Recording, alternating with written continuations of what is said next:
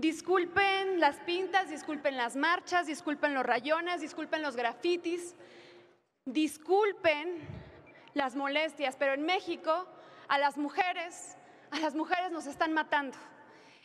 Y sí, sí hay que incendiar todo este país para acabar con este sistema que se olvida de nosotras, lo vamos a hacer.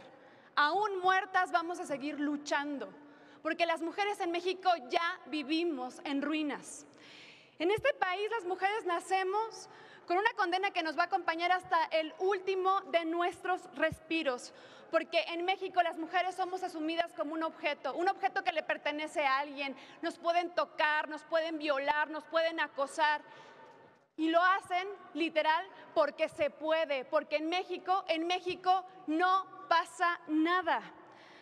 Las mujeres en México nacimos con un grillete en la garganta que nos sofoca, que nos impide alzar la voz, que nos impide denunciar lo que estamos viviendo.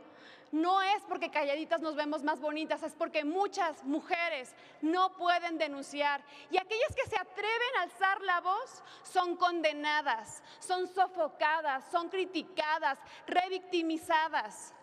Esta sociedad es sumamente injusta con todas las mujeres. Aquí vivimos una realidad que nos duele hasta los huesos, pero además parece que nadie la entiende. Solo nosotras lo podemos entender.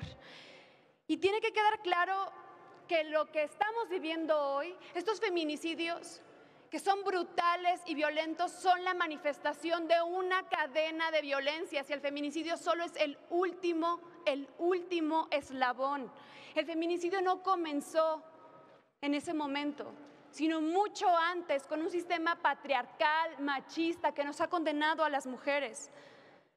Los feminicidios son la fotografía brutal de que esta sociedad machista y violenta tiene el derecho de destruir la integridad y la vida de cualquier mujer y de cualquier niña en este país. Y de verdad, compañeras, compañeros, no podemos permanecer indiferentes, no podemos callar más, no podemos taparnos los ojos, taparnos los oídos, no podemos ignorar lo que está sucediendo a las mujeres en este país, porque la indiferencia nos hace cómplices. Y al ser cómplices también somos responsables de lo que se está viviendo. Hoy quiero aprovechar este espacio a nombre de mis compañeras y mis compañeros de Movimiento Ciudadano para hacer un llamado, un llamado a entender que este no es un problema de las mujeres, que es un problema de la sociedad, es un problema de este país. Aquí quiero hacer un llamado a mis compañeras senadoras. Somos el Senado de la paridad, ¿para qué? ¿De qué sirve que aquí tengamos la mitad de mujeres, adentro y no seamos capaces de garantizar la vida, la dignidad y la libertad de las mujeres que están allá fuera? Yo quiero convocarlas a todas a que hagamos un frente entre nosotras, que saquemos adelante la legislación que se necesita para que esas mujeres puedan garantizar su vida y su libertad. Demostremos que para algo llegamos a la política, no para seguir con los mismos discursos machistas, con los mismos códigos, que llegamos aquí a transformar el debate público y a transformar la realidad de las mujeres que para eso nos escogieron. Y también quiero hacer un llamado a mis compañeros, los senadores para que hablen menos y escuchen más, que entiendan que también es su responsabilidad sacar adelante esta legislación. Y quiero hacer un llamado a todos los hombres que están aquí y los que están afuera, que entiendan que los hombres son los que perpetúan las cadenas de violencia y que está en la mano de los hombres romper con los ciclos de violencia. No es un problema de viejas, es un problema social. Y si el violentador y el acosador para, la violencia para.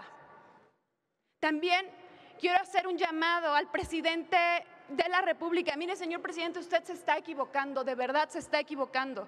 No son los medios de comunicación inventando cosas. No es que alguien quiera distraer la rifa del avión presidencial. No, señor presidente, las mujeres en este país nos están matando.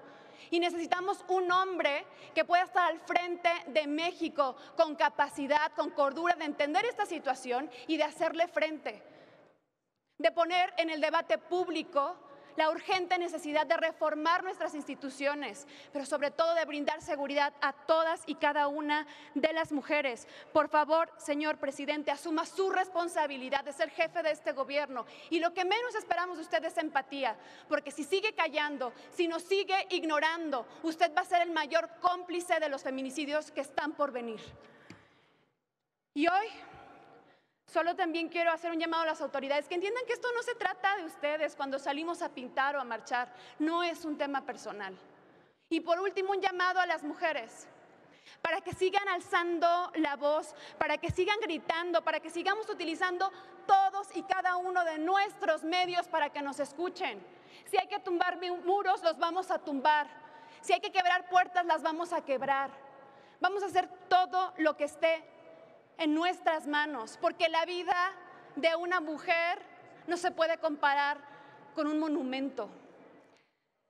No, no le podemos seguir fallando a las mujeres. Ya le fallamos a Fátima, ya le fallamos a Ingrid. ¿A cuántas más le vamos a fallar? ¿Qué necesitamos que pase en este país para que entendamos la pandemia que estamos viviendo por la violencia que experimentamos nosotras las mujeres? Yo solo les invito, las invito a que sigamos alzando la voz, a que sigamos luchando, a que juntos, a que juntas logremos que ser mujer en este país no sea el mayor peligro de todos. Los invito y las invito a que sigamos luchando por todas. Y les digo que si me llevan, porque es posible que me puedan llevar, porque en este país cada día le arrebatan la vida de manera violenta a 10 mujeres, que si me lleva, por favor, sigan luchando por todas.